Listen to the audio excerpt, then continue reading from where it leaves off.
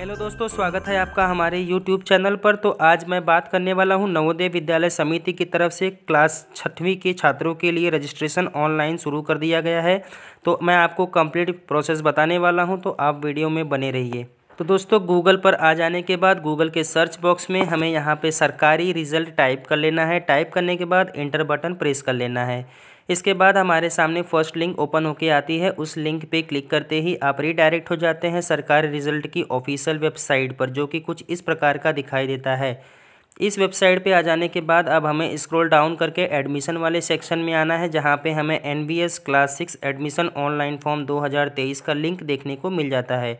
इस लिंक पे क्लिक कर लेना है। क्लिक करते ही नेक्स्ट पेज पे रीडायरेक्ट हो जाते हैं, जहाँ पे हमें नवोदय समिति को लेकर के यहाँ पे पूरी डिटेल्स हमें देखने को मिल जाती है। तो दोस्तों, यहाँ पे आप देख सकते हैं अप्लीकेशन दो जनवरी 2023 से स्टार्ट हो चुका है और अप्लीकेशन को अप्लाई करने का लास्ट डेट थर्टी फ़र्स्ट जनवरी 2023 है और एग्ज़ाम डेट दोस्तों देख सकते हैं, उनतीस अप्रैल को एग्ज़ाम होने वाला है और इसका रिज़ल्ट जो है 2023 जून में घोषित कर दिया जाएगा।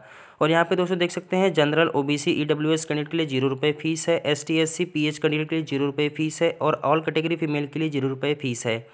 तो यहाँ पे दोस्तों मिला जुला कर बात यही है कि ये फ्री ऑफ़ कॉस्ट है, आप यहाँ पे बहुत इजी तरीके से रजिस्ट्रेशन कर सकते हैं।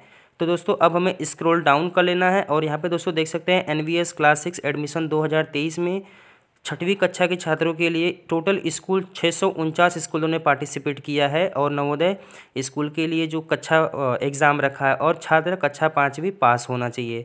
तो ऑनलाइन रजिस्ट्रेशन करने के लिए स्क्रॉल डाउन करना है। देख सकते हैं हमें यहाँ पे रजिस्ट्रेशन और लॉगिन का लिंक देखने को मिल जाता है। तो अब हमें यहाँ पे रजिस्ट्रेशन वाले लिंक पे इजीली क्लिक कर देना है।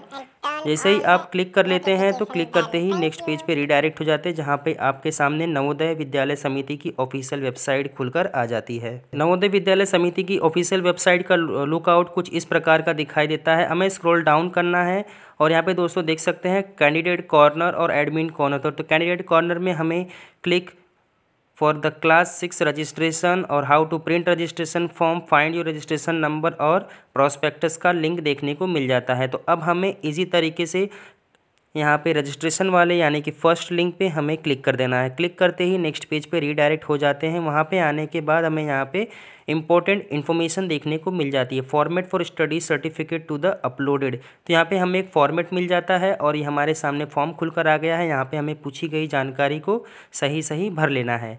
तो भरने के बाद आप इजीली सबमिट करके रजिस्ट्रेशन कर सकते हैं। तो सबसे पहले मैं आपको फॉर्मेट दिखाने वाला हूँ। तो फॉर्मेट पे पाने के लिए आपको इम्पोर्ट राइट साइड में इंपॉर्टेंट इन्फॉर्मेशन पे जाना है और इसमें फ़र्स्ट वाले लिंक पे क्लिक कर देना है। क्लिक करने के बाद आपके सामने जवाहर नवोदय विद्यालय सिलेक्शन टेस्ट 2023 का एक सर्टिफिकेट फॉर्म खुल के आ जाता है। यहाँ पे पूछी गई जानकारी को हमें वन बाय वन भर लेना है। यदि आपको जानकारी फिलअप करना है तो आपको फॉर्म को अच्छी तरह पढ़ लेना होगा। इसके बाद देख सकते हैं name of student who studying in class five तो यहाँ पे कक्षा पाँच वाले छात्रों का नाम डाल लेना है। आप इस फॉर्म को प्रिंट भी करके फिलअप कर सकते हैं।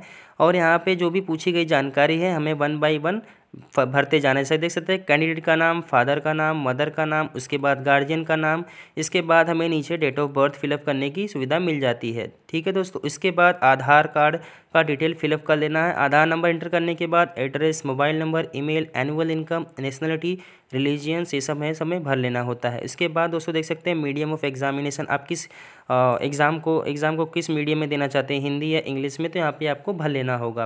और यहाँ पे देख सकते हैं पर्टिकुलर्स में आपको क्लास थ्री फोर फाइव का जो डिटेल्स भरना है, आपको, आपके स्कूल का नाम पासिंग ईयर ज्वाइनिंग ईयर आपका स्कूल कौन से क्षेत्र में पड़ता है तो सभी जानकारी को हमें यहाँ पे वन बाई वन भरते जाना है।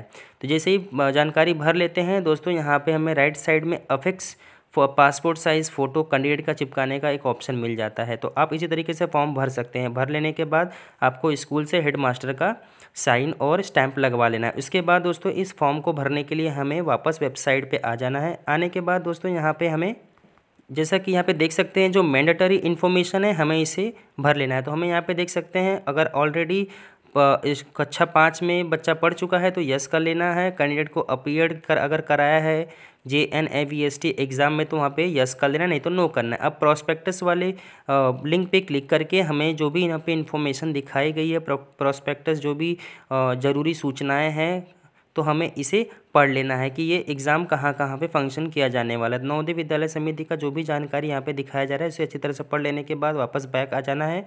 और इसके बाद आप यहाँ पे अगर कक्षा पाँच पास कर चुके हैं तो यस पे क्लिक करना है। इसके बाद आपको कौन से सन में पास हुए थे 2022 में तो यहाँ पे यस कर लेना है। उसके बाद अगर आपके पास आधार कार्ड है तो यस और नहीं है तो नो पे क्लिक करना है। नो पे अगर क्लिक करते हैं तो हमारे सामने एक पॉपअप मैसेज आता है जहाँ पे हमसे वो जो आपको मैंने पीडीएफ फॉर्म दिखाया था उस फॉर्म को अपलोड करने के लिए पूछता है। तो यहाँ पे जैसे दोस्तों देख सकते हैं ब्राउज का ऑप्शन आ, आ चुका है। तो ये जो फॉर्म देख रहे हैं दोस्तों इसे हमें वहाँ पे अपलोड कर देना है।